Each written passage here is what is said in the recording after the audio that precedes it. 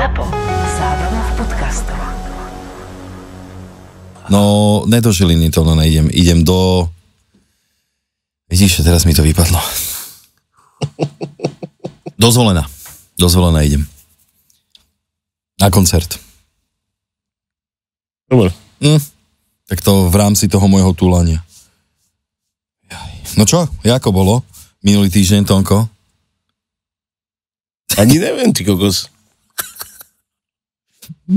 Nič? No. Nič si nezažil dobrého?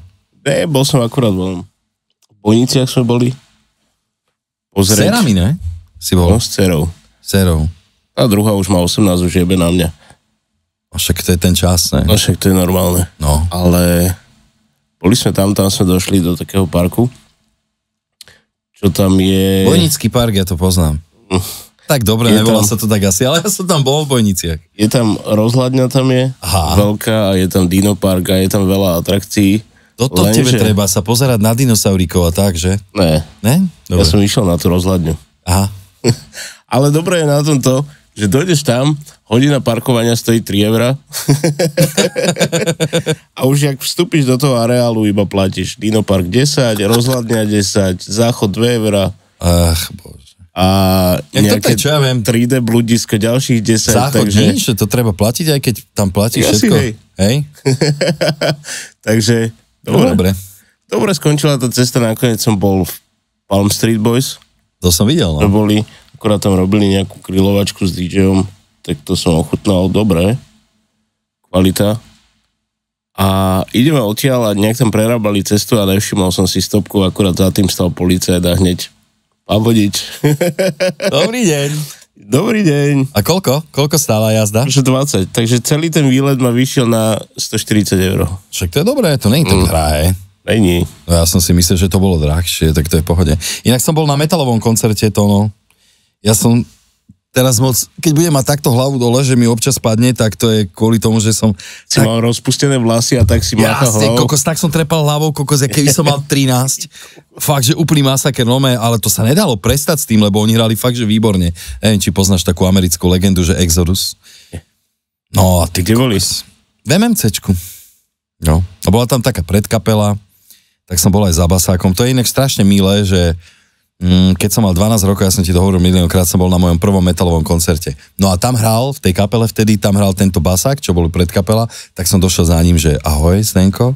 Videli sme sa, keď som mal 12 a teraz mám 47 a že som ťa bol pozrieť, podporiť, koko skoro uronil slzu, ukázal som mu kerku, čo mám vytetovaný prvý album, ktorý vydali vtedy s kapelou a tak, že hustý, pozeral na mňa, že dobre, tak pekné, vieš. Vidieť mladých ľudí inak, jak sa bavia, je v tomto období celkom príjemné. Presne. Že? Nejsú všetci strčení za tými internetami, ty kokos, inak ja mám z toho také nervy poslednej dobe. Toto je to, že preto uh, chcem sa ísť potúlať trošku a vyčistiť hlavu, lebo Lebo čo?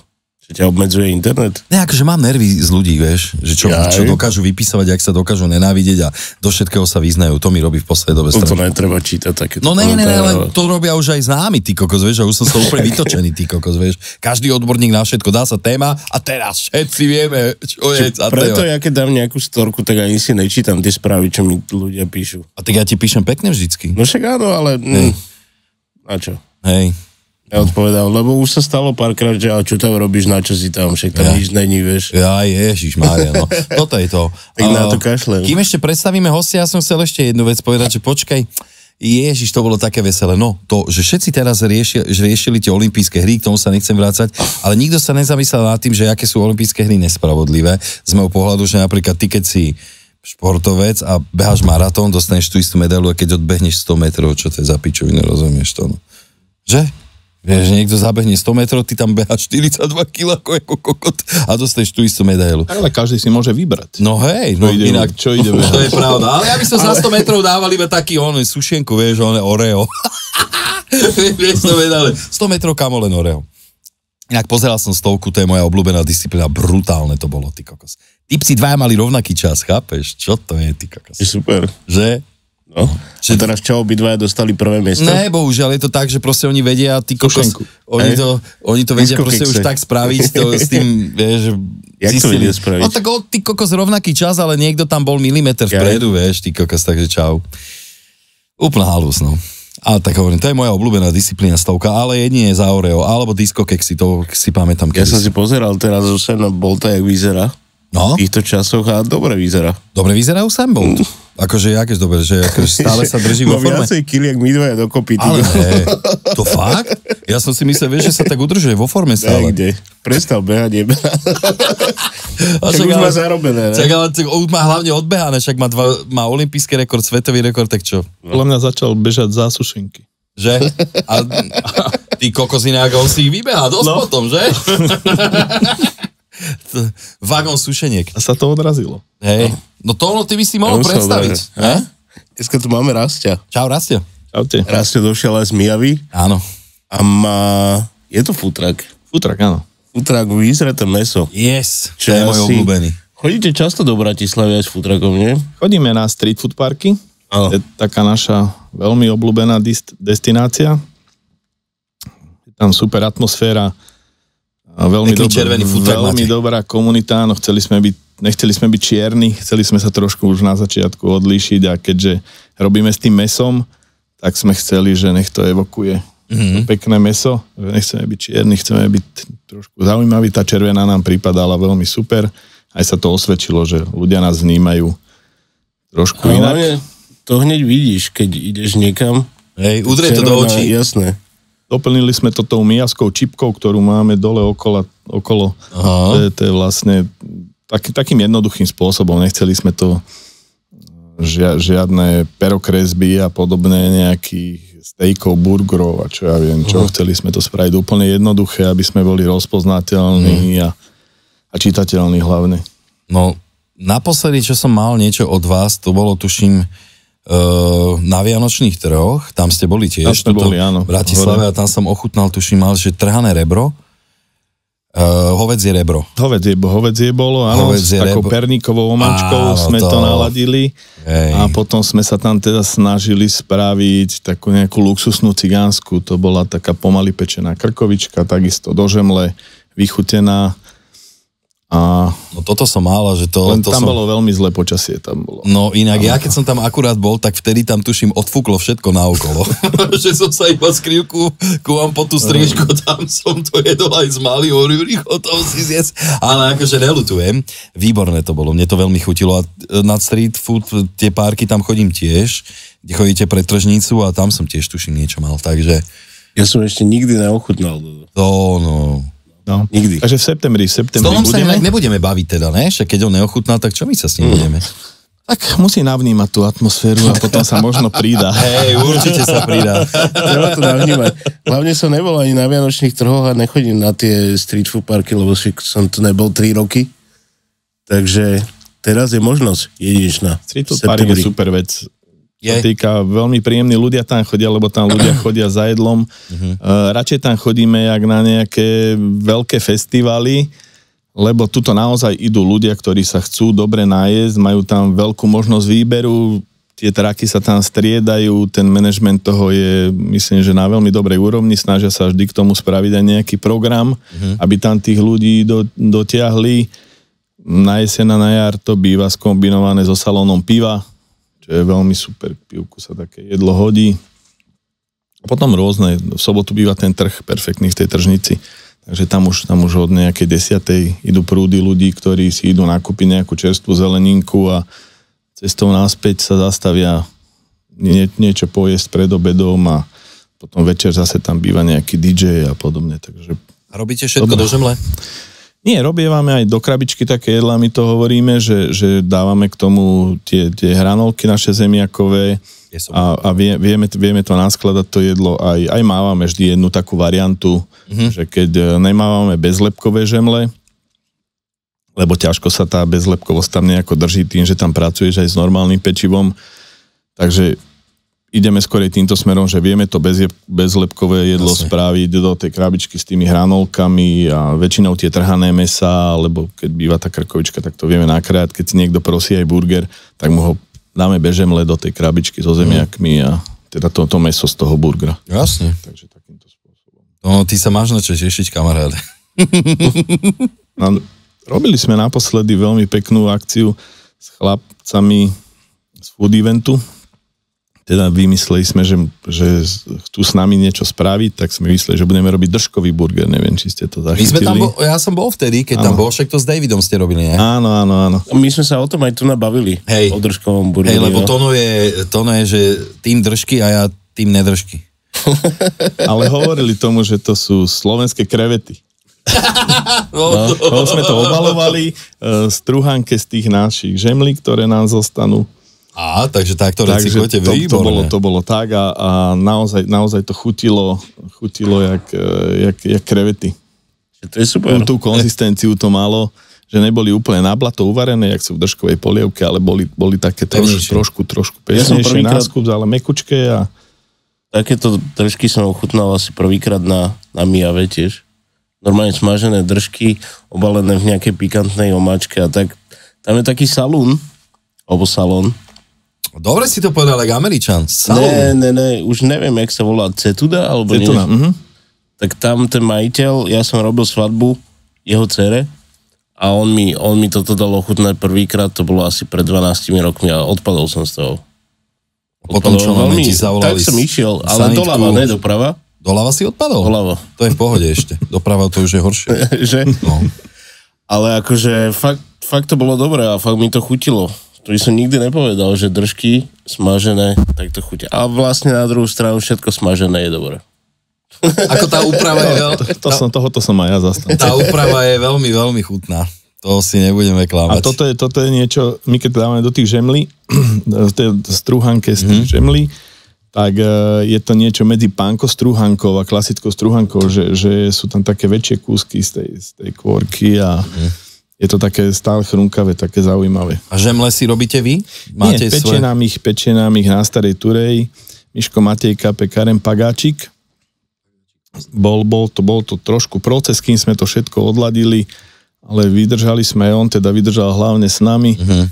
My sme mu to pripomienkovali a je veľmi ochotný, promptný, peče nám sobotu, nedelu, čo je veľmi výhodné, že keď sme aj tu, už tie street food barky bývajú aj v nedelu, alebo akákoľvek akcia, keď máme nejaký event, tak je ochotný naozaj aj prísť nedelu do roboty a tie žemle nám napiec vždy čerstvé, takže my máme Wow. vždy, vždy čerstvé žemličky sa snažíme, lebo ťažko sa to už ten piatok odhaduje, že čo bude, čo bude v sobotu a nedaj Bože ešte v nedelu. Takže on vždy vie pružne zareagovať a za to sme mu veľmi vďační. Tam asi jediná No. možnosť taká, že keď by nebolo, lebo viem, že keď boli takéto akcie, tak ľudia si nakúpili, dajme tomu žemle a mali to tam piatok, sobot, nedela. Podľa mňa je ideálne do mrazáku dať, potom vybrať. Le, určite určite, Určite lepšie, lepšie, no. ako keby to malo byť niekde dva dní vonku, alebo niekde skladované, že iba tak pri Ale nejakej... zase ten objem zamraziť teplote. tých žemlí, zase to nie No je však to je jednoduché, že jasné, to musí, však musí byť na to. Však vy tam tiež nemáte určite toho priestoru na rozdávanie v tom futraku. No to tam, vôbec. Tam musí byť všetko... Tam je to jak v ponorke. No v ponorke som už dlho nebol, pamätáš si to? Ani No? ja som nebol v ponorke, ale vidím to z tých filmov, že tam musí mať všetko svoje miesto a každý musí mať hlavné svoje miesto a vedieť, čo robiť inak. Nejak Inak ponorka bola aj tam- taká krčma tu, vieš, to- na to, na, na to aj narážam, lebo Hej. uh, to, No to tam bolo si tak, došiel a hneď ťa ovalil taký amoniakový zápach. takú, tak asi to bola taká tiež štvrtá cenová. Ale aj sme tomu hovorilo ponorka. No, ja, jak inak. Lebo, to je strašné. Tam sa ponoríš a už nevieš, kedy sa To bolo, vynoríš. myslím, že to vzniklo aj z toho, že ono to bolo malinko pod úrovnou No však cesty. aj toto. A Aj keď, toto. a keď tam zapršalo, tak tam bolo niekedy viac, niekedy menej vody. Tam oni to, oni to u nás aj umývali sem tam raz za čas. Ale tak to bolo, že tam naťahli hadicu a celé to vystriekali od strop až po zem. Kokos. Aj toto sa umývalo, keď tam teda vošla tá voda, myslím, že inak, inak nie. Takže keď celé leto nepršalo, tak to... Tak to muselo byť veselé. Ty kokos. Dobre, a aké meska používate? Hovedzie, bravčové. Hovedzie bravčové robíme aj hydinu, Uh-huh. používame. A my sa snažíme do tej žemle dávať ako keby rôzne veci, aj koleno, lítko hovedzie, líčka sme tam dokonca dávali. Takže máme aj vegetariánsku verziu, čo máme zase za kopcom, my tomu, nie je to už Slovensko, je to Morava, ale máme, máme to 10 minút cesty od nás. Farma ovčí dobroty. A úžas, robí nám úžasný chalumi sír, ktorý len ogrilujeme na platni, máme tomu takú nakladanú zeleninku, limetkovú majonézu, takže to máme taký a veľa, veľa e, ľudí, ktorí k nám chodilo pravidelne na burger a e, mesový, tak ochutnali tento sír a zaradili ho do repertoáru. To je A bomba, je, je to, je to už sírik, ja ho úžasná mám veľmi rád, jasne. A keď je to ešte takto, že z farmy, A cez leto robí z oviec, má ovečky, on má stádo oviec, samozrejme on to na, potom, keď sa majú malé ovečky narodiť, tak není mlieko, tak robí nám z krávského, takže Mhm. máme síce celý rok, ale cez leto býva vždy z ovčí. To je taký akože super vec. A jak ste sa k tomuto dostali? Že ste si povedali, že budete mať futrak. No to bola, to bola cesta, my máme reštauráciu ešte v Starej Mijave, volá sa to Na Nátoni. Fungujeme už 14. rok. to je super. Začali sme, najprv to mala byť, to mala byť len obchod s vínom a mali sme tam robiť ochutnávky. Mhm. A vymysleli sme si, že budeme robiť slovenské vína. Začali sme robiť ochutnávky, super, ľudia chodili, ochutnávali, len e, malo to jednu chybu, že oni si potom nešli k nám kúpiť to víno. Ochutnali ho, boli s ním maximálne spokojní, išli si ho kúpiť priamo k vinárovi. A? Tak ušetrili nejaké No, peňažky. samozrejme. Lebo vinár im to dal. No jasné. Lepšie a lepšie. Mm. No a tak, tak sme, že čo budeme s tým robiť, tak sme začali robiť malé oslavy, ešte popri tom sme samozrejme chodili aj s Adelkou, manželkou do práce. Tak sme začali robiť také malé oslavy, úplne jednoduché veci. Potom sme to začali mať, už som ja prestal chodiť do práce, venoval som sa len tomu, mali sme otvorené od stredy do nedele s tým, že sa tam čapovalo pivko, všetko super, nakladali sme hermelín, mm. máme, dosť je to frekventovaná taká cyklistami tam na tú starú miavu sa chodí na priehradu, tam sa chodia ľudia vyvetrať a to bežalo úplne super, celé po obede som lietal, čapoval, malé pivo, veľké pivo, kofola, hermelín, všetko, večer som otvoril penaženku a mal som tam 28 eur. No a celý deň roboty nič moc. Ale aspoň ti čas ubehne. To, to je to, no, to je tá výhoda. Tak to, to, to bol prvý taký impuls, tak sme teda, že, že budeme variť, tak sme to otvorili len piatok, sobota, nedela. Zase super, to perfektne fungovalo, ale my tam máme v tej reštaurácii len eh, 24 miest. Mm. Maximálna kapacita je 30 a problém bol v tom, že takisto odchádzali ľudia spokojní, všetko. Len vedeli sme ju naplniť len v piatok večer, v sobotu večer a v nedelu na obed. Mm-hmm. Nevedeli sme tú reštauráciu dvakrát zatočiť a to viete, že keď to nezatočíš ten počet tých miest aspoň dva, dvakrát za deň, tak ako nedávalo to nejaký finančný efekt. Jasné. Samozrejme nejaké akcie boli, zase sme obmedzení kapacitou, nedalo sa tam tancovať a podobne, takže tí ľudia nám, keď už mali ja neviem, 20 ľudí a chceli ešte aj tancovať, tak nám odchádzali do väčších priestorov. Tak sme si teda, že čo s tým, že pôjdeme niekde do, do Jedine na väč- stoloch, ne? Potom. Taneč, tanečky. to až po polnoci, to je v poriadku, len na obed je to také srandovné. To je pravda, ne? Na obed sa nezvykne, to je pravda. Neviem, ako u vás, u nás zatiaľ nie. No nie, nie, Ale nie. nie. raz to možno dojde. tak sme si zobrali s Adelkou teda nejaký papier a začali sme písať, že dokončili sme to, že ideme to rozšíriť, aby sme vedeli tam viacej ľudí usadiť. Uh, ideme niekde do mesta, do väčšieho priestoru, do prenájmu, zase čo s týmto a tak. A tak nám nakoniec vyšlo z toho, že, že keď sa kúpi taký vozík, tak z toho vieme spraviť veľa jedla, vieme ísť tam, kde to jedlo ľudia chcú, tak sme, tak sme kúpili vozík, super to začalo, hneď sme robili taký pre jednu firmu veľký event, potom bol Michalský jarmok na Mijave, perfektné. Vianoce, hovorím, paráda, trafili sme to, Mm, ideme do toho, odpočíneme si trošku cez zimu, my vždy január, február máme taký voľnejší, lebo tá, ten koniec roka býva taký hustejší. no super, pol leta už vybukovaného, ešte sme s tým len začali a prišiel COVID. To som inak čakal. Do... Nebudem Presne, ale nadávať. Tým, že sme to kúpali, nekupovali sme to vôbec covidu, kvôli teda, že, že, že začal covid a že my sme to kúpili ešte predtým. Ale vďaka tomu sme prežili celý covid bez nejakého šrámu, Mhm. že by sme zostali niekomu dlžní, alebo že by sme nemohli e, sami prežiť, alebo tých brigádnikov, ktorých máme, tak sme si ich stále držali, chodili, boli sme na Miave, na námestí, ľudia za nami chodili, bolo, to- bolo to veľmi príjemné. No, super. a, a tie dva roky sme prežili vďaka, vďaka tomu futraku na Miave, na námestí. To bolo, to bolo Tak ale určite ste hlavne prežili aj vďaka tomu, že ste dobrí, kvalitní, lebo ľudia sú, dneska si môžeš vybrať, naozaj máš Určite toho, áno. naozaj toho máš veľa a určite sa vrátiš iba tam, kde ti naozaj chutí. No.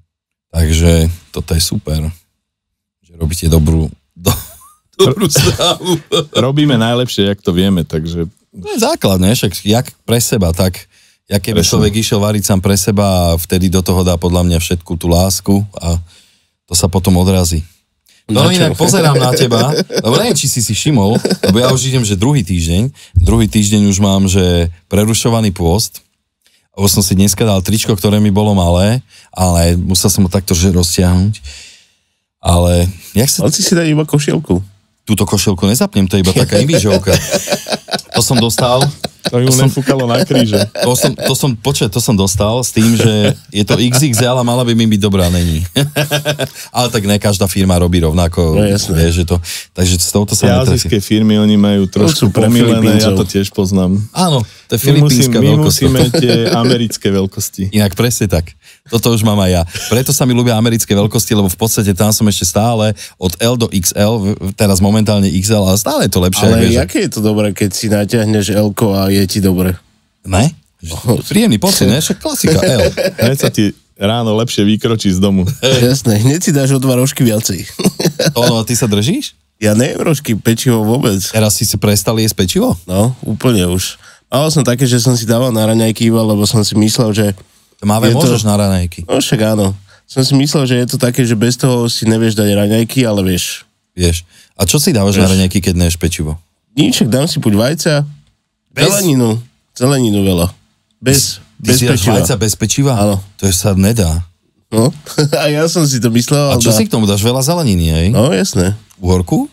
Ne, uhorky, neviem, paradajky veľa. Paradajky sú A mňa. rôzne veľkosti teraz. Takže- Zelené, čierne. Môžem si dať vodu? Kľúčne, však to posunúť, no, daj si, však jasne. Čo nepokazil. Ne, pohode. Ja som prvýkrát, takže... Takže ono to robí šarapatu zvukárovi, ale tak e, nebudeme ťa volať, že prídi, daj, Prídi sem. daj nám vodičku. Daj si to bližšie troška. OK. Dáva na mňa pozor, dobre, Hej, dobre, jasne, dobre, jasne. dobre. To, no, Niečo som sa ťa chcel spýtať. Ty si robil niekedy kuchára alebo niečo Nie. také? A jak si vyšperkoval tie recepty svoje? Lebo Robo hovorí, že je to kvalita. hlavne je to dobré. No? Máme švagra Juraja, Adolkinho brata, ktorý je už nejakých 15-17 rokov v Anglicku, varí a on nám to pomohol Mhm. celé nastavovať. A tým, že sme naozaj veľa skúšali, Určite. mali sme na to čas a postupne sme sa od tých jednoduchých vecí dostávali až k týmto degustáciám, ktoré teraz ponúkame Mhm. v našej tej reštaurácii, tak e, sa pomaličky za, tých, za, za ten čas, za, za tých x viac jak 10 rokov človek, človek naučil a No, prepracoval. Jasne, že áno. A čo bolo úplne super, čo som sa ja dostal do obrazu a že jak funguje veľká kuchyňa, lebo ja som nik, nikdy v takej reštauračnej kuchyni ako keby nebol, vždy som tam len u, u nás bol. Tak e, chodila k nám taká partička, najprv to boli zákazníci, dneska sú to už kamaráti a oni stále hovorili, že my sem toho Jara Žideka musíme raz doviesť. Mm. Ja som si robil z toho srandu, však jasné, chalani, dovedte, však určite to, bu- nech príde. to bude super, nech príde, nech sa pozrie. No ale my ti ho naozaj sem privedeme, však hovorí, jasné, dobre, dobre. Až teda raz telefonát, že čo robíš pozajtra? Nič špeciálne, však klasika. No dobre, tak o jednej dojdeme s tým Jarom Židekom. Niečo mu nachystaj, ono, že to ochutná, niečo ti k tomu povie. Mm. A oni ho naozaj priviedli. Tak to je kapacita, Jardo. Je no. Tak e, na, na, následne na to ten, ten Jaro ochutnal, pozrel sa, jak to robíme a hovorí, že keď budeš čokoľvek potrebovať, tak mi zavolaj a keď budeš mať čas, tak dojdi k nám do kuchyne na stáž, vtedy bol ešte hore v Albrechte. Dojdi k nám, môžeš tam byť, koľko chceš, môžeš si tam stážovať, môžeš sa pozrieť, jak, jak, jak funguje veľká kuchyňa, jak funguje reštaurácia. Jasné. Oni boli vtedy podstate špička na Slovensku. No však jasné. Tam Dano Marek e, vlastne snívario, ktorý je teraz v Elizabeth a kopec, kopec tých chalanov, ktorými sa aj teraz ešte sem tam stretnem niekde v reštauráciách. Tak tam, tam, som, tam som pár rokov po sebe bol. Vždy, vždy ten január, február na nejaké 2-3 týždne. Dokonca som mal možnosť, on tam volával myšelníckých kuchárov na, na také popapy, tak som tam pri jednom Španielovi bol, ten už neviem, jak sa men, volal a ešte tam bol taký Francúz, ten mal myslím, že dve hviezdy, Jean-Luc Roca sa volal, mm-hmm. super chlap, tak s tým som tam mal možnosť v tej jarovej kuchyni stráviť nejaké 3 dny v tej, v tej kuchyni pri tých prípravách a potom aj na servise. Tam Jaro volá aj Peťa Duranského, dobehol na, na ten servis, tak tam bolo x, x chalanov Tak to a si, aby, mal, aby to to si mal veľmi veľkých mentorov, si myslím, že brutálnych. Áno, nie? áno, takže tam, tam som sa hlavne pozrel, jak to má vyzerať a jak sa to má robiť a trošku jak sa riadi kuchyňa a podobne a dozvedel som sa, že čo je za tebou a tak. Od No. toho sa to všetko odráža, lebo to keď nevieš, tak hotovo. Tak Máš nôž v bruchu a ideš ďalej. Alebo nejdeš ďalej. Tak to už skôr nejdeš. No sú presne takéto veci, že to e, nachytáš iba v kuchyni. Akože tieto profi veci. Lebo však miliónkrát sme sa o tom bavili, že ono, uvarí dobré jedlo, vedia aj babky, aj mami, Vie, vieš. Veľa ľudí. Presne tak. Ale celkovo gastro není práve len o tom varení. Že je to tam celé, je to taký iný stroj. Inak, keď budete počuť, že niekomu škrká v bruchu, to som ja. Lebo ja mám ten... Uh, Ešte koľkokrát to povieš? ja mám ten, ten teraz uh, Prerušovaný pôst. prerušovaný pôst a ono do 12. nejem. Takže som tak... Ale kokos už, už to... Teraz si prerušený, áno? Po, počúva, už to asi, už to asi pre, preruším a nastavím inak, lebo neviem, či by som si to nechcel posunúť o dve hodiny skôr. Že, Preto som sa ťa pýtal minulý týždeň, že ty kokos, budeš to zvládať do 12. nejesť? no je to také, že náročné No. niekedy, hlavne keď idem ráno do roboty, že idem ráno na čo ja viem, no najneskôr chodím na 8. Vieš, ty kokos, ale že keď idem, že na 6 alebo na 5, tak si predstav, že 7 hodín makáš a kokot, A nič. ničoho sa nechytíš. Prerušovaný si. To som tam veľmi prerušený potom. Aj Ale narušený. ochutnávaš, nie? Tak aspoň niečo. Á, vieš, no tak jasne, že musíš niečo, keď... No nemusíš. No, A dáš si väčšiu lyžicu. no. Ale čo potom? Potom budem vyzerať jak zákulak hajzlový pavúk, lebo še- chudnem z rámen, očadia, ale ostane mi len ten pupek nakoniec. Potom. A čuputum.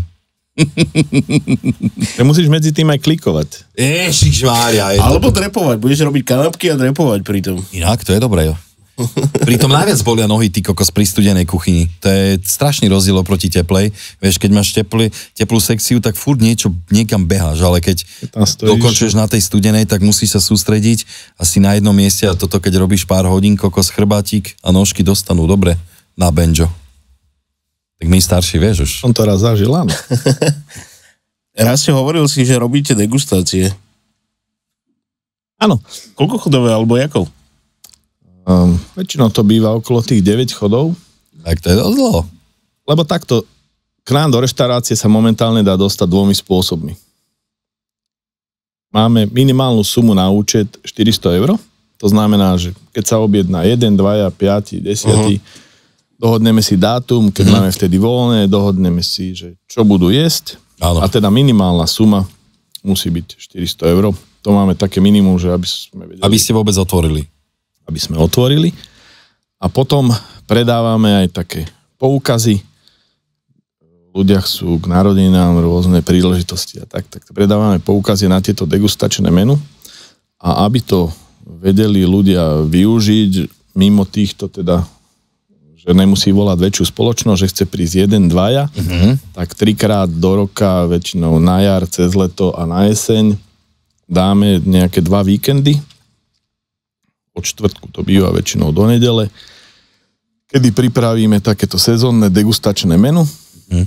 a tí ľudia sa tam môžu nahlásiť, môže sa nahlásiť aj jeden človek.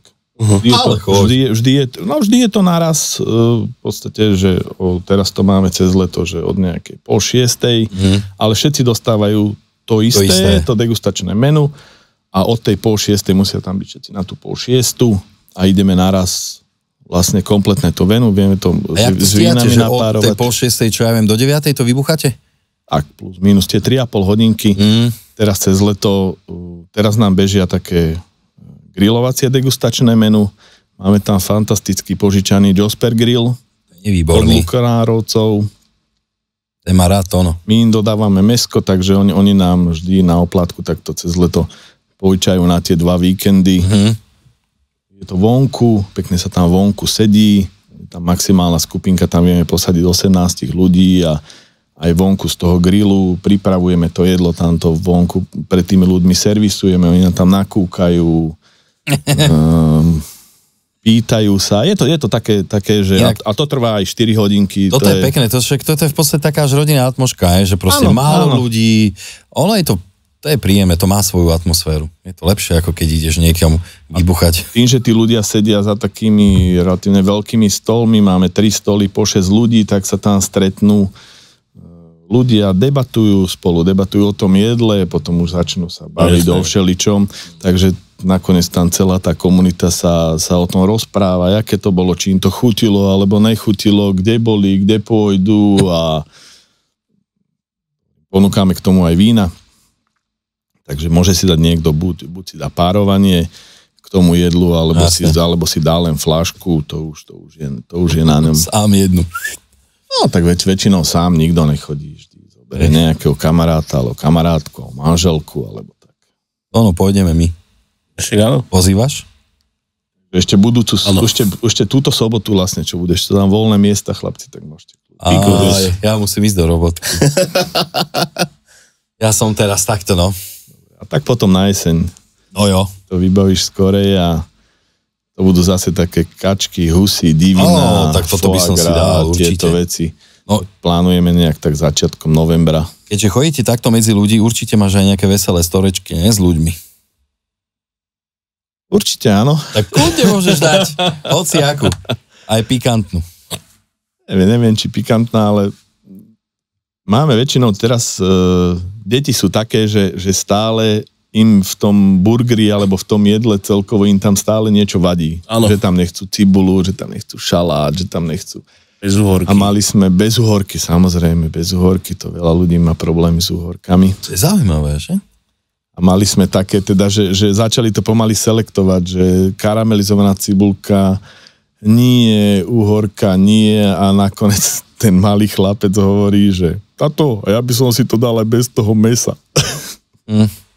Iba On tak hovorí, žemličku. takto v žiadnom prípade.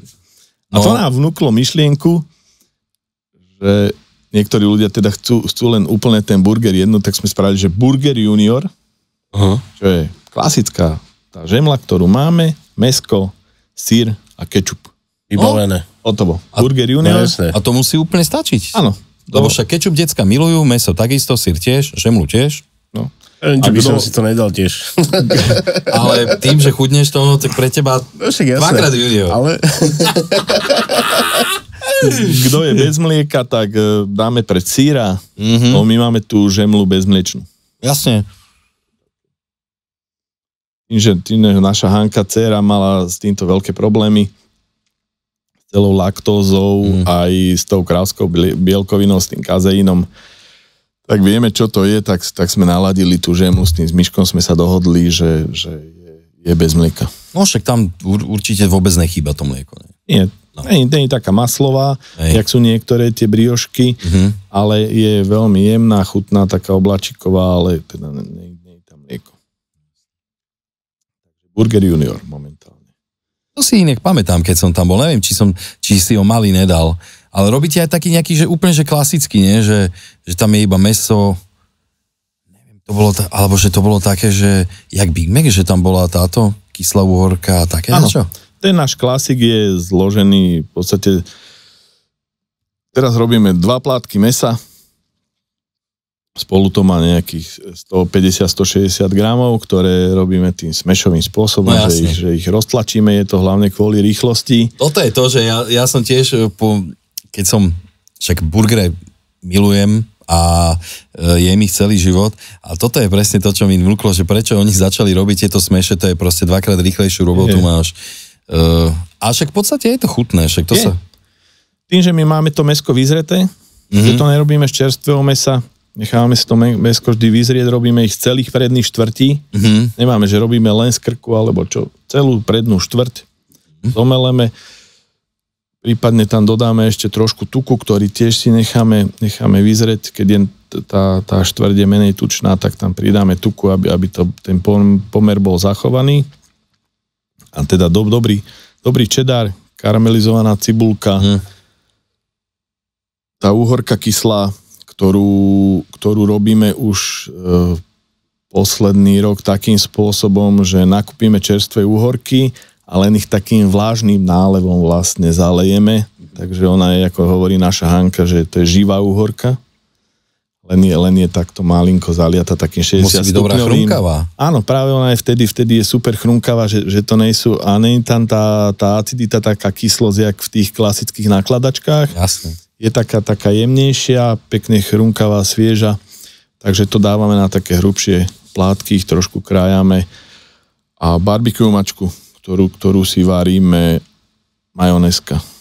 A to je ten náš klasický Taký, že klasik, že dám si, že klasicky toto je burger. on, hej. Ešte robíme potom cheese, tam, tam je iná majonéza, tam je chipotle majonéza, pridáva sa tam zase sír, tam nie je tá cibulka karamelizovaná, tá, tá uhorka je tam a dávame tam ešte lístok šalátu. Chipotle inak ja mám strašne rád. No. Ty to ľúbiš? U, Ale jak si rozprával, jak si, jak si rozprával o tom základnom vašom burgeri, tak ja si iný predstaviť ani neviem. Ja som začal robiť s touto karamelizovanou cibulou a s barbecue majonézou a takto a to je podľa mňa základný burger asi pre každého. Teda pre mňa určite. No ja mám radšej tie burgery, kde není zelenina napríklad. Že nedal by som si niekde, že taký, že kde je šalát, paradajky a tieto veci, že maximum, čo znesem, je kyslá uhorka. Inak mám rád všetko iba také fakt, že tlsté, nezdravé, ale strašne chutné. Dobre, tá cibula fajn, OK, s, tou som, s cibulou som úplne OK. Ale toto je moje, že ko- kombo, inak ten, keď si hovoril ten, čo to bol ten junior? No. Bože, bože, by som si ho dal aj ja úplne. Není problém, lebo keď dáš dobrý kečup, že nedáš nejaký oné, úplne ten- običko, tak čo to s tým mesom a sírom, však vieš, však čo to je, ňam. Ja inak, keď už neviem, že, že čo, čo si dať, alebo potrebujem niečo rýchlo, tak len meso a žemla. No, Konec. A to mám takú, takú desiatku, že tie dneska si spravím do, do tej našej čerstúčkej žemle a to je, že také, ono sa to mesko ešte. Inak čerstvé pečivo, to je moja smrť. To je, to je niečo, čo ja strašne ľúbim. A tak to asi všetci ľúbia, však to je základ. No a ty si hovoril o tom burgeri, že čo to no? čo? Čo? Ja už som dokončil. Hej, Jasne. ty už nepovieš nič k burgerom. Áno. Ej, ja iba ten Slovak burger teraz preferujem. To je čo preboha? Cigánska žemli, ne? Ja jasne, ozaj. vidíš, že to je tiež také, len meso a... No. Robíme to s, s tým Svamanom, kde vlastne sme začali túto spoluprácu, na základe čoho sme vytvorili ten projekt to vyzreté meso.sk. To nie je len o tom futraku, ale my robíme aj stejkové meso. Ja, že si môžeš kúpiť kom... Môžeš, máme taký, taký e-shop nám tam funguje. Ľudia si, ľudia si môžu objednať raz za týždeň, to rozvážame a na základe toho sme teda s tým Svamanom spravili túto spoluprácu. A to som chcel povedať, že im chodíme pomáhať, máme také folklórne slávnosti na Miave. Koncom júna to býva každý rok, veľká akcia, ich tisíc ľudí. Kokos, ale však to je veľká akcia. Ne? Áno, áno. Tisíc ľudí je je jeden z najväčších folklórnych festivalov na Miave. Teda na Slovensku. To je prirovnanie k detve, Detve, k východnej a podobne. Ide aj pani ministerka pozrieť. Uh, nie, bola. pán prezident bol. pán prezident bol, ale on tam chodil každý rok, Hej. takže... A to nebolo vtedy tak, že, že ho vypískali niekde na Niečo takomto? tam boli také, no. A to Ale teraz to je je, moderné. to je nejaká tradícia, moment, to sa za, zaklada nejaká tradícia, že sa píska na privítanie, ale neviem. Tak, tomu nerozumiem celkom, podľa mňa to není v poriadku. No však. Uh, každý môže mať svoj názor, ale ten folklórny festival je myslím, že o niečom inom a uh, to, to už je. No ale tisíc ľudí ľuďoch. nakrmiť. Tam je, tam je niekoľko tisíc, tam je ja neviem, 5 tisíc možno za deň, no možno aj viacej. Býva tam tých stánkov, je tam také, že mestečko Mijavy, to je kuchyňa tradičných vecí Mhm. a tam s týmto Svamanom, oni tam robia tú klasickú cigánsku, keď si ju spomínal, tak na Margo toho hovorím. Zase Miško, Mateka upeče krásne žemličky a oni tú svoju krkovičku tam, ktorá je len jednoducho naložená, tam na suchom grille, žiadne tie, tie máčania No do, do tých olejov a tie rozklepané milimetrové mesa, to je riadny flák mesa, ktorý sa tam len na sucho pekne ogriluje, dá sa tam k tomu cibulka a my tam na takom velikánskom grille, na ktorom by sa dal upiec aj bík, aj sme ho tam teda jeden rok piekli, ale Kokos. um, s tým nie som celkom stotožnený, lebo ľudia, ľudia eh, nechápali to, že to meso nemôže byť úplne prepečené. Mm. Oni ho chceli prepečené, zase bolo tvrdé, on, niektorí si to chválili, niektorí nie, ale ja som bol z toho taký, taký úplne rozpoltený, mm. tak som povedal, že už na budúci rok, eh, keď mami spomáha, tak nebudeme robiť býka, ale že budeme piec prasiatka na tom grille. No tak prasa predsa je aj, si myslím, že bežnejšia záležitosť, aj jednoduchšia na prípravu. Čo to je tam v pozadí? No, a... Tak. Lebo ja si pamätám, pamät, Tono, ty si ešte zažil, že na námestí tu v Bratislave sa piekol bík. No jasné. Pamätáš si to? To si to to, bola ako ale- pre mňa že veľká podívaná. Je, je to atrakcia úžasná, že sa to na tom ohni robí, orieza sa to, Áno, áno, postupne. vyzerá to veľmi super, ale ne, ne, ne, Mhm. ja som to nevedel jednoducho robiť, chalani to predtým nejakí robili, či to bolo lepšie, horšie, neviem, ale teraz tie prasiatka sa milujú, pekne ich vykostíme, Mhm. A urobíte roládu? áno, taký, takú, takú ako keby porketu, ale je to s Jasne. hlavou, so všetkom, so stehnami, len je to pekne vykostené, na tom ohni sa to tam krásne upeče, tam sa to točí, ľudia sa na to pozerajú a potom to pekne krájaš ako tortu. Mm, ako tortu, dobre si to prirovnal. Tortička. Taká prasačia tortička, pekná. Áno. A ideálna veľkosť prasaťa je koľko na toto? To, toto sú také 60-70 kilové prasiatka, to nie sú úplne tie malé, No jasne. Inak to lebo, lebo to je veľký, veľký grill, Hej. takže tam sú okolo tých 60, keď pečeme, my u nás máme takú chlebovú pec v reštaurácii, tam keď pečeme prasiatko, tiež ho vykostím, ale ešte don ho dávam aj klasickú nádievku. Uh-huh. Takú, Ó. jak, jakú, jak do kuraťa, tam Jasné. leze zhruba asi z 50 rožkov nádievka. To je dosť. A čo donútra? Nejaká ona? Cibula? Nie, nie, nie. Normálne pečeňová? Áno, Taká? Z pečienok? pečienok, vajíčka, Vňaťka musí byť, Vňaťka, ne? petržlenová, To je tak. cesnak. Tak. Pekne sa vyšľaha sneh z bielok. Zamieša sa to, upraží sa pečienka. To no, inak... Na, na, to- dva, na dva rohlíky jedno vajce. Ty kokos, takto? Tak. Fú, tak to ale pekne drží. Áno, áno. A to, a to sa naplní, mm-hmm. spraví sa taká viacej vychutená tá nadievka, trošku viacej slanšia, viacej korenistá, viacej cesneková do toho a mesa. do toho prasiatka. To prasiatko už nejakým spôsobom nemarinujeme, nepácujeme, nen, nenapichávame ho, nie. Aha. Ono si to pekne z tej nádievky natiahne Aha. a v tej chlebovej peci ho To ja za som- 7 hodín pekne upečeme, dochrunkáva, do zlatistá. Ja keď som piekol prasa, ja som mu dával tak, že pamätáš si to, no? Moja najobľúbenejšia vec na pečené meso v celku je čo? Neviem, ty si mal nejaký pomer. Ale nie to. Však cesnaková pasta, ne? Ty kokot. Tým som to natrel. Fakt. Ale, Ale fajnovo solená, ne? ale že keď si spravíš buď svoju, alebo aj tá, inak, ale na to pečené prasa v Na to je najlepšia solená cesnaková pasta Veď- kupovaná. 50 na Ty kokot, 50. čo už otvoríš a už je fermentovaná. Natreš to a 24 hodín necháš a ona už potom je prirodzene, že slaná. Inak to ty si si všimol, že Rastion sa podobá na takého herca jedného. Takého Ako? akčných hrdinov. Jason Stanham, podľa mňa, trochu. že? Pozerať tak na že koho mi pripomína, ty kokos. Trošku, ale. Kde som ho stretol? Ja som teraz bol na takej akcii to ono v Bioniku, X-Bionic. Tak si sa tam dostal, čo Bol si išiel kone. na, na Však bol si som, išiel. bol som doma robiť uh, catering. A bola tam taká nejaký, taký stánok, že voda, nejaká divná voda, takže zdravá voda, že iba H, že vodíková voda. Zvedavý, čo to bude, ty kokos, jak móda. A čo, ochutnal si, nedali ti, či čo? Nedali mi nič.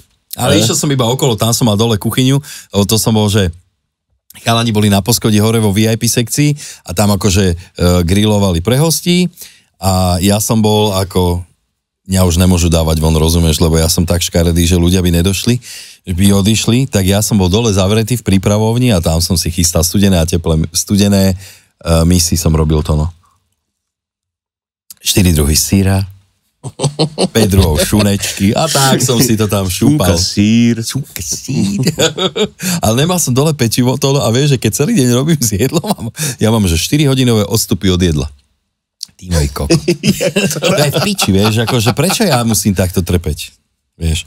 A najhoršie vieš čo na tom? Že ideš si druhý týždeň a také, také očakávanie, že kokos aspoň 300 gramov som dal dole. Nič, ani kokot, nič vôbec. Ani, po, Presne. ani ráno? Nič, nič vôbec. Nič, ráno sa musíš vysrať, vyšťať a tak sa odvážiť. Tak to Pred robia všetci. No, Tak toto je. tak to, to A je. hneď to pozbudí na mysli. vieš čo, je to tak, že keď... vieš čo, prvý mesiac ty kokos niekedy ešte máš aj o kilo viacej. Presne tak, lebo telo je taká kurva a moje obzvlášť, že ja mu poviem, že počúvaj ma sem, musíme schudnúť a on ten hajzel si začne ukladať. Úplne všetko. Takže večer som s tým inak vyhúpal, večer si dávam, vieš čo je dobré na chudnutie? Melónik si dávam. Teraz sú výborné melóny. Ale áno, však a si melón. Robili sme teraz taký dezert na tú degustáciu a tam, tam sme spravili taký melónový krém. Taký venček sme spravili z odpalovaného cesta. Mhm. Melónový krém z ricoty krém Á, rikota je bomba. A navrch sme to nazdobili ovocím, len takým čerstvým a Lebo ja taký, mám- taký lahúčky dezert na konci to, tej celej To degustačky. To Ja mám bolo. radšej fakt, že aj rikotu, aj Filadelfiu, radšej to mám ako mascarpone. Akože tým, že je to, je to už taká, má tam takú tú chuť výraznejšiu, že mascarpone je výborné, ale je to predsa len taká, že smotana viac menej hustá a toto sú také, také je tam také, A toto vieš, je- jedno je tvárok, druhé je sír, je to proste, ináč aj mascarpone je trochu sír, že? V podstate. Do piči. Vieš, že trochu to je sír. Ja viem, ale je divný, ne? Však 82% tuku, alebo koľko? To je 80... jak masilkom, neviem. Chvala Bohu. No. Aha. Áno, však... My, čo nejsme v rysovačke, my, čo sme stále v objemovke, tak je to v poriadku. Kokos, ja som, ja som si dal takú objemovku za posledné dva roky, že pfui, kokos, to málo ľudí by dokázal. Ale no, však sú to všelijaké obdobia a netreba si odopierať dobré jedlo. Na, to, nie. na dobré jedlo si Len vždy treba človek... byť mu- striedmi. tak, Tam je- človek tam si... to je celé. Inak s týmto som začal a mám výborný recept. Dávam si miesto dvoch... Tvoje recepty. Dá, dávam si miesto dvoch kopčekov jeden zmrzliny. Vieš, že idem na zmrzku raz za čas, ale dám si jeden kopček iba, nedám si dva. A, t- No a keď si nevieš vybrať medzi zmrzlinami, Dá si dá malú miešanú. že? Už inak- Dajte mi z Ja každej, prosím vás. že to tam naberá, keď vidím, dajte mi pol na pol. Jaké pol na pol? Nej pol hranolky, pol rýža. Jak? Hm, to je... Chlapci, ale musím vám k zmrzline povedať, čo som mal zážitok. Ja som teda zmrzlino žrút, Dobre, to sme dvaja. keď ešte fungoval, pamätáte si, ty si budeš pamätať jamu? Ja, jamu? Niekto mi o tom... Kde bola jama? Niekde sme si... Pri Slovane? Pri Eh. tenisových kurtoch? Tam bola jama zmrzlina? No, Bolo sa to na jame?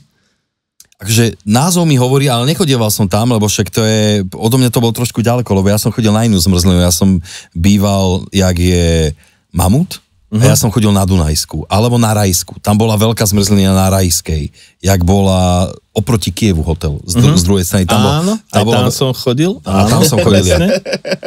to, no, to sa písali a ešte, to bol bývalý režim. To bol 86., 5., 6., 7. rok. No. A ja som tu chodil teda do školy, jazdil som na bicykli Uh-huh. a chodili sme na tú jamu. My sme na dráhe tam mali, e, mali kde sme mali bicykle a Ty si jazdil na bajku na tej dráhe, čo bolo pri Slovane? Áno. Tam, kde je teraz vlastne, však, Presne. však to je jama, stále sa to volá. Kúsok predtým dole bola tá, tá zmrzlina.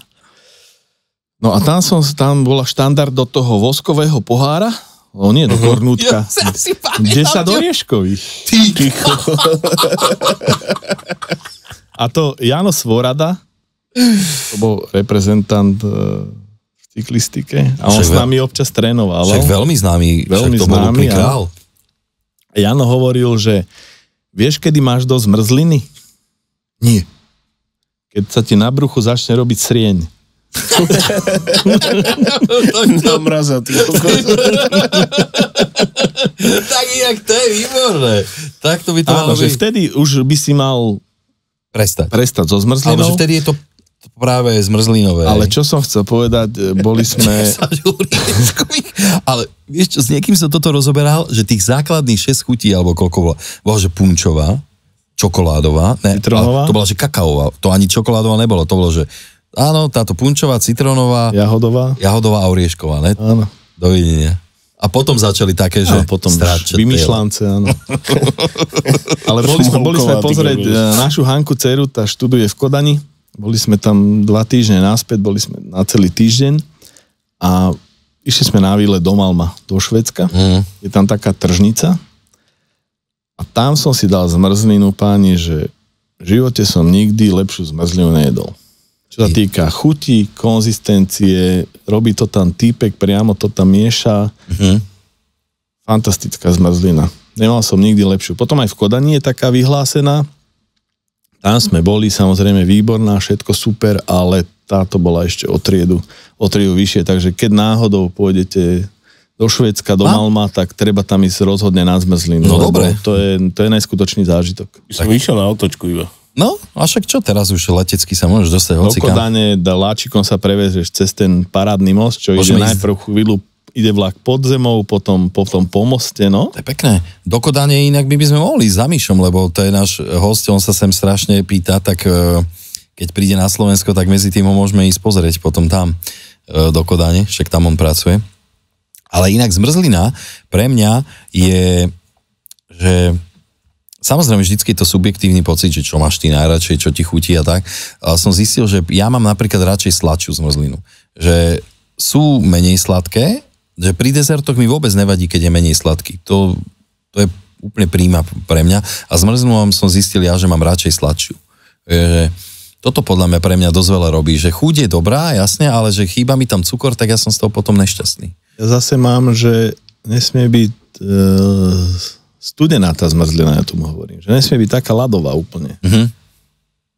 Keď je taká, No, niek- taká áno. príjemná, príjemne, príjemne studená, že nesmie byť tá ľadová, že cítiť tam, ako keby si, si dal kocku ľadu do, To do ne, pusy. to, to je moc, no. Že tie dobré zmrzliny bývajú také, si taký dobrý krém jedol vychladený. Mhm, mhm. Dobre. To ma na tom baví. No lebo inak ja toto mávam, takú tú, tú kocovinu, jak sa hovorí, že keď zješ veľa studeného, mm-hmm. mňa okamžite tuto začne boleť hlava, ale tak, že to je masaker. Vieš, že aj ináč teraz, keď si dávam ten jeden kopček, tak to nevie, ale že keď dám dva a ja som strašný žrúd, ja rýchlo žerem. Ty kokos, ja to dokážem zožrať za dve minúty, vieš, a potom ty kokos túto. Čo s tým robíš dve minúty? Máznám sa, S, to, s tým jedným kopčekom. Ne, s dvomi. Aha, aha, A tak, no ja niekedy, že keď mám fakt chuť na zmrzlinu, ja ju aj kúšam a hrížem a žerem, vieš, že to je proste hrozné. To keď ide niekto so mnou na zmrzlinu, že či, čo, čo je ti? A, a čiže to som chcel povedať, že teda stojí tam samozrejme tá zmrzlina násobne viac, ale Mhm. mm-hmm. tam ti dajú jeden kopček jak tu za dva. Možno aj za tri, takže Mhm. 120 ja gramový kopček ja som tam dokázal zjesť maximálne tri kopčeky. Zaujímavé, že keď si, si si dávaš- dával 10 A tak orieškových, to som bol vo forme, teraz už som trošku z formy. teraz už si dával len 6. ale stále dobrá forma. Á, tak eh, robím, čo môžem. Ty kokos, to 10 orieškových si Tak ale keď si prešiel 70 km na bicykli, Ja viem, a ešte no. som nepil vtedy stratí. pivo, Mm. tak musíš tú energiu nejako No jasné. A dohnať. ty si bol ten dráhový? Aj, aj na drahe sme jazdili, aj cez to, v Interi som jazdil. Kokos, lebo inak tá dráha, to ma vždycky strašne fascinovalo, že vy ste tam nemali brzdu, nie? Že tam vlastne ideš voľno. Tam, nemáš tam ani voľnobeh, tam jak na trojkolke, tam je taký furt šlap. Áno, tento, tak to je práve, že ne, bez voľnobehu, bez voľno a že máš furt šlap. Nemáš A brzdy? toto napríklad, že keď sa, lebo kamož mi tam jazdil, môj e, spolužiak zo základnej a tam hovoril, že tam keď náhodou niekto padol, že to bolo veľmi nepríjemné. Tam ti nožky stále behali. Áno, Chvíľu. presne. No, no, no, že to muselo byť. A to robili sa také previerky, že každý cyklista, ktorý bol, mal ten eh, preukaz toho športovca, že môže, mohol jazdiť aj celostátne súťaže, Mhm. tú legitimáciu, tak musel robiť previerku aj na dráhe. Musel dosiahnuť istý čas na tých 200 metrov a na kilometr a podobne. Takže to chodili aj borci z Košíc, z Popradu a perfektní cyklokrosári uh-huh. a cestní cyklisti. No ale keď ho prvýkrát posadili na ten dráhový bicykel a on chcel ten čas dosiahnuť čo najlepší. A samozrejme, keď prejdeš na cestnom bicykli tou cieľovou páskou, tak čo, zvesíš nohy? Zvesíš nohy, no. Aj oni ich zvesili niektorí. Au. A potom boli katapultovaní. Ty kokos, to si viem predstaviť. No, to no, lebo počkaj, to je tá hybná sila, však to nezastavíš. Ty musíš proste postupne uh, vlastne spomaliť. No. No ja, ja keď som bol decko, ja som veľmi, ja som veľmi sledoval šport, lebo však sám som športoval, tak ja som to, toto miloval, všetko. Všetko možné som sledoval. Však my sme mali Antona Tkáča, nie? že to bol taký, akože, Trénoval Duklu. To no. že to, bol, to bola veľká legenda, nie? Akože dráhovej cyklistiky. Pamätám. No, Antona. No, vidíš to, no. Aj ty by si mal. Čo by som mal? Trénovať Duklu? Bicyklovať. Koľko ty zožereš, tak sa ťa spýtam, koľko ty dáš kopčekov zmrzliny? Dva, maximálne. Dva si No, dávaš? jasne. Inak aj ja, už teraz aj. Lebo tiež robia väčšie, už to nie je také, vieš, že ako kedy si tie 30 ml čo dávali, alebo tak. Oškrapkávali. Teraz ti oškrapka, no. Včera som mal inak šťastie, bol som na zmrzline a mne dali tak veľký ten jeden, lebo týpek to nevedel nejak nabrať, tak mu to už ostalo, tak by to ťa poznajú, vieš, možno preto. A inak, keď, me, keď sme pri tom, bol som na tom koncerte metalovom to, no, a došli tam za mňou dvaja chalani, zdravím, že majú radi náš podcast veľmi a že pozdravujú. No, to je pekné. A potom sme sa do seba vrážali vonom, vieš. Tak. Ne, Do lebo, teba niekto vraví, ale no, lebo však ten jeden, sa odrážali od teba, ne? Uh, no kámo, ten jeden, to bol taký, že väčší typek, taký, že kus chlapa a oni keď behali na tom, na tom uh, keď robili ten circle pit alebo všeličo možné, čo sa robí na metalových koncertoch, tak oni tam behajú jak blázni a to keď do teba vrazí, vieš, že ja som mal hlavu sklonenú a som dával, jaj. Nedával si pozor. Fú, no, tak som aj ja letel. trošku. Jaj, toto mi inak chýbalo trošku, taký metalový koncert, ja toto mám strašne rád. Teba. Hej, hej, hej. Je niečo, čo by si ešte chcel povedať? Na záver. Na záver? Už je koniec? Áno, Ty, to bol frmol. že? No, tak chcel by som všetkých, všetkých e, pozvať, nech prídu ochutnať tie naše veci, či už do našej reštaurácie, alebo do toho futraku, keď budeme tuto v Bratislave. Tak Plánujeme september, oktober ísť. A budeš Po- prítomen? Pokiaľ, ja, ja som tam vždy, viac menej. No dobre. Vždy, vždy, som, vždy som za grillom. Sem tam ma niekto vymení na chvíľku, ale, ale gro, gro tam bývam ja. A teda keď nás vyberú, dúfam, že lebo tam prebieha nejaké, nejaké výberové konanie. No to nie- som nie sa je to chcel spýtať, že aké sú tam vlastne podmienky, že, lebo vždycky ma zaujíma trošku aj to finančné pozadie, že či sa to človeku oplatí, alebo, lebo vieme, že keď sú napríklad tie trhy, tie vianočné, že to je masaker, akože že tam človek musí fakt dosť veľa zaplatiť, aby sa tam vôbec dostal a je to viac menej, že pre veľa ľudí asi viac menej len reklama, nielen za zárobková činnosť. Neviem, ako to je na tom hlavnom námestí. My, Hm. sme, my sme boli no, Na Hviezdoslav. na Viesku, áno. A spravili takú gastrozónu, čo sa celkom nestretlo s nejakým úspechom. Boli sme tam až hore skoro pri moste. No však vy ste boli pri moste až úplne vzadu, no. To nemalo celkom efekt, ale ja si myslím, že vždy je to, vždy je to o tej skladbe tých, tých vozíkov, tých futrakov, ktoré sa tam dajú. To je veľmi dôležité na všetkých tých akciách. Že pokiaľ tam dáš 5 burgerov, tak nemá, nemá, nemá nikto. Takže tuto, tuto sa im to veľmi darí, že tak citlivo to naskladať, aby tí ľudia si mohli dať zaujímavé veci, každé iné, pochutnávajú a je to veľmi citlivo naskladané. Mhm. A ako som hovoril, teda tí ľudia tam chodia primárne za tým jedlom, Áno, však... takže už keď tam idú, tak sú nastavení na to, že to stojí nejaký peniaz, že keď prídu večer a je piatok alebo sobota, že musia aj chvíľku počkať v tej rade, ale keď vidia, jak my tam kmitáme za tými grillmi a pri tých fritézach a podobne, Toto tak, si tak, môžu inak ľudia očakovať. tak uh, vidia, že sa tam neflákame a že tá rada nejakým spôsobom postupuje, tak sú aj ochotní tam počkať a samozrejme, keď sa tam vyskytne niekto taký, čo to nemá celkom navnímané a nevie, čo ho čaká, tak aj trošku frfle, ale väčšinou ho skore tí ľudia v tej rade upracujú, že nekaz nám tú náladu, my tu čakáme, my sa na nich pozeráme, jak im to ide a ide im to dobre a, a keď sa ti nechce čakať, tak bež túto zárok niekde, tam není rada a tam si dáš niečo. Keď No si však nie tam vedľa si môže dať odpadnúť. kebab za 5 ečiek. No, A má to vybavené, chlapec. Koľko stojí kebab teraz? Hej. Minimálne, no. Sa blížime takým viedenským cenám. Tam stojí 5 je stále v pohode, ne? 5? Ale určite. čo stojí vo Viedni kebab? Vieš čo, záleží kde, ale máš tam aj že od 5,50 o, a máš tam aj za 7,50. Hm? Ehm, ale no, vo Viedni mám dojem, že tam ľudia zarobia niečo viacej ako tu. Áno, ja, ja to veľmi nerozlišujem, ja, ja mám v podstate hlavné kritérium, aby to jedlo bolo dobré, aby mi to chutilo, aby, Tak. aby tam bolo čisto v tom zariadení. A toto je pre mňa, či to stojí o euro viacej, o euro menej, ako, mm, ra, radšej, si, radšej si ako priplatím. A ten pomer s tou kvalitou ceny toho jedla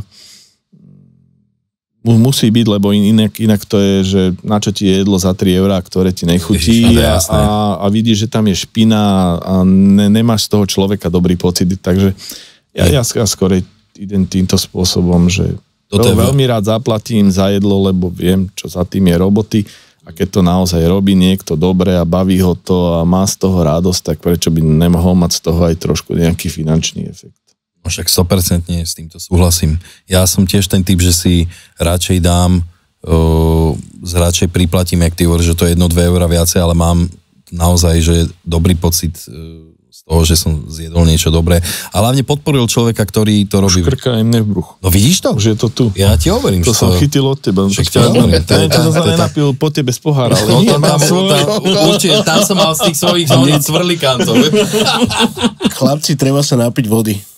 Dobre, však my vodu pijeme. Čo, čo Mm. provokuješ? To je tak, že Počkej, te- tebe tiež budeš škrkať. Ty si ráno papkal, že? Tak si múdry. tak ja normálne, že musíš ranejkovať. Bez chlebiku. Nie No. tak, bez chlebičku si si dal, že?